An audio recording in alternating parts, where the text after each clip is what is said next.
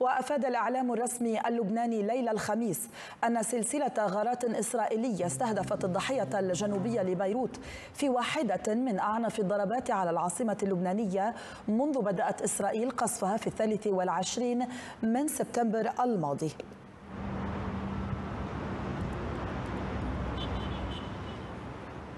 وفي خبر عاجل وردنا عن المتحدث باسم الجيش الإسرائيلي والذي يقول إنه قصف في ضربات أمس على الضاحية الجنوبية لبيروت مقر مخابرات حزب الله. إذا في خبر عاجل صادر عن المتحدث باسم الجيش الإسرائيلي والذي يقول فيه أن الجيش الإسرائيلي قصف في ضربات أمس على الضاحية الجنوبية لبيروت مقر مخابرات حزب الله. وينضم إلينا من بيروت الصحفي ويليام عزام. أهلا بك ويليام. بداية التطورات الميدانية طبعا وآخر الأنباء التي صدرت عن الجيش الإسرائيلي بأنه تم قصف مركز الاستخبارات لحزب الله في الضاحية الجنوبية. نعم بالنسبة للوضع الآن في الضاحية الجنوبية لبيروت الآن يخيم الهدوء الحذر. قبل ذلك قبل ظهر اليوم سجلت غارة من مسيرة إسرائيلية استهدفت مجموعة أشخاص. هم عمال إغاثة تابعين لحزب الله. استهدفوهم بصاروخ في منطقة المريجة في الضاحية الجنوبية لبيروت حيث جرى الحديث عن ثلاث إصابات. هذه الغارة يعني تلحق بسلسلة غارات جوية إسرائيلية عنيفة شهدتها الضاحية الجنوبية لبيروت الليلة الماضية تحت عنوان محاولة أو اغتيال هاشم صفي الدين رئيس المجلس التنفيذي لحزب الله المرشح لخلافة حسن نصر الله. وأسلوب تلك الغارات كان شبيها بتلك التي اغتالت حسن نصر الله. ولكن حتى الساعة هناك صمت تام من جانب حزب الله بالنسبة لمصير هاشم صفي الدين. وكذلك صمت تام من المصادر اللبنانية الأمنية والرسمية. هذا بالنسبة لوضع الضاحية الجنوبية لبيروت. ولكن التطور الأخطر هو قصف معبر المصنع الحدودي الذي يربط لبنان بسوريا وإغلاق الطريق الدولي تماما التي تربط بين البلدين. وهو ما يشكل اطباقا للحصار على لبنان. حصار بري من جهة وجوي عبر منع أي طائرة سوى تلك التي يسمح لها الطيران الحربي الإسرائيلي من الهبوط في مطار بيروت. وأيضا حصار بحري تحت مراقبة البحرية الإسرائيلية. علما أن طائرة إيرانية وحيدة هبطت في مطار بيروت منذ بعض الوقت. هي طائرة وزير خارجية إيران عباس عراقجي الذي وصل منذ بعض الوقت إلى العاصمة اللبنانية حيث سيلتقي في هذه الأثناء رئيس حكومة تصريف الأعمال اللبنانية نجيب ميقاتي وبعد ذلك رئيس مجلس النواب اللبناني نبيه بري في زيارة لافتة في التوقيت وفي هذه الظروف. والمتحدث باسم الخارجية الإيرانية اعتبر أن هذه الزيارة هي زيارة تضامن للبنان وأن إيران اصطحبت معها مساعدات للنازحين اللبنانيين والمقيمين في لبنان. إذا هذا الوضع بالنسبة لبيروت والضاحية الجنوبية لبيروت والبقاع اللبناني حيث معبر المصنع. ننتقل إلى جنوب لبنان حيث المعارك محتدمة ولا زالت محتدمة خصوصا على المحاور الثلاثة يارون مارون الراس وكفركلا العديسة حيث تستمر الاشتباكات المباشرة بين القوات الإسرائيلية التي تحاول التوغل داخل الحدود اللبنانية ومسلحي حزب الله الذين يصدرون بيانات متتالية بأنهم يتصدون لهذه العمليات وهذه نعم. المحاولات علما أنه سجل اليوم إطلاق. نعم وليم آه أيضا.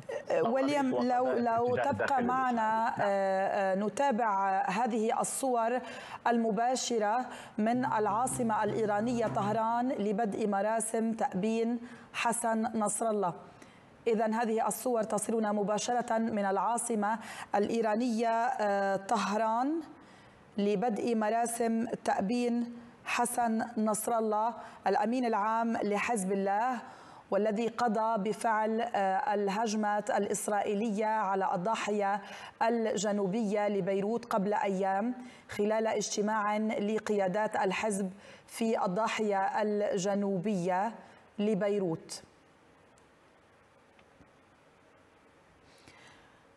إذا مشاهدينا آه، هذه الصور تأتينا مباشرة من العاصمة الإيرانية طهران لتأبين مراسم أو لبدء آه، آه، مراسم التأبين للأمين العام لحزب الله والذي قضى مؤخرا في الهجمات الإسرائيلية على الضاحية الجنوبية لبيروت.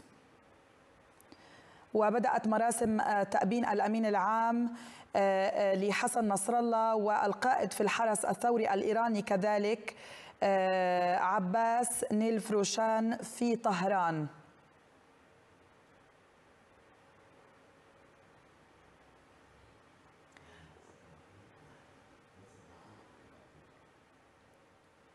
للتذكير فقط بأنه كان هنالك آه، تضارب في الأنباء آه، التي وردت عن موعد آه، تأبين وموعد جنازة الأمين العام لحزب الله حسن نصر الله. ولم يتمكنوا في لبنان ولم يتمكنوا من دفنه في بيروت. ويبدو بأن مراسم التأبين بدأت اليوم في طهران العاصمة الإيرانية. كما نشاهد جموع من آه، قيادات الحرس الثوري والمسؤولين الإيرانيين في هذا التأبين.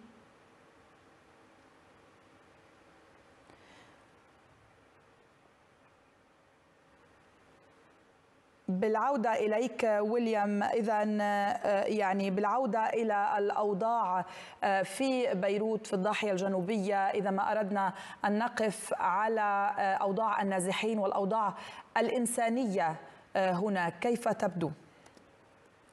صحيح سجل أيضا في منطقة برج البراجنة في الضاحية الجنوبية لبيروت عمليات نزوح كبيرة خصوصا بعد الإنذارات المتتالية التي وجهها المتحدث العسكري باسم الجيش الإسرائيلي بإخلاء بعض الأحياء وبعض الأبنية هناك، عمليات النزوح مستمرة من الضاحية الجنوبية لبيروت إلى العاصمة بيروت ومن العاصمة يتم آه، توجيههم إلى يتم توجيههم إلى آه، الشمال.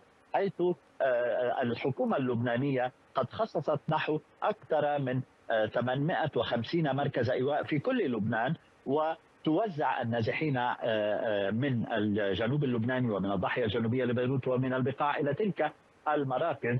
وأيضا آه، كانت قد خصصت مساعدات غذائية ومالية حصلت عليها. إن كان من دولة الإمارات العربية المتحدة التي قدمت مساعدات بقيمة 100 مليون دولار أمريكي وأيضا بالنسبة لباقي آه، آه، الدول أو بعض الدول العربية والخليجية وأيضا بعض الدول الأجنبية علما أن الحكومة اللبنانية تطالب بنحو آه، أكثر من 400 مليون دولار مساعدات للنازحين أخذت وعودا بتحصيل 200 مليون دولار منهم فقط حتى الساعة.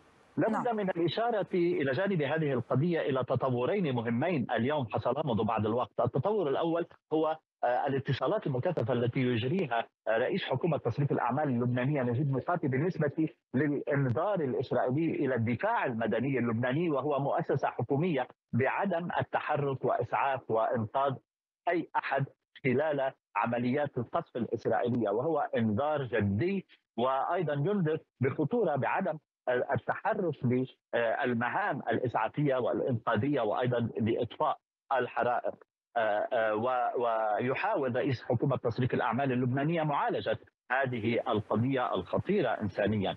ثانيا نعم. التطور الثاني هو إنذار جديد من المتحدث العسكري الإسرائيلي آه، أيضا إلى 35 بلدة لبنانية في جنوب لبنان اليوم لإخلائها فورا نعم. إلى شمال نهر الأول في نعم. سياق هذا الحديث عن العمليات الإنسانية ويليام أريد فقط الانتقال إلى هذا الخبر العاجل أعلنت بريطانيا الآن أنها ستمد لبنان بعشرة ملايين جنيه استرليني إضافية كدعم إنساني لمساعدته في التعامل مع النزوح الجماعي آه، للسكان والعدد المتزايد للقتلى والمصابين المدنيين إذا بريطانيا أعلنت الآن بأنها ستمد لبنان بعشرة ملايين جنيه استرليني إضافية كدعم إنساني لمساعدته في التعامل مع النزوح الجماعي للسكان والعدد المتزايد كذلك للقتلى والمصابين المدنيين جراء هذه الهجمات الإسرائيلية.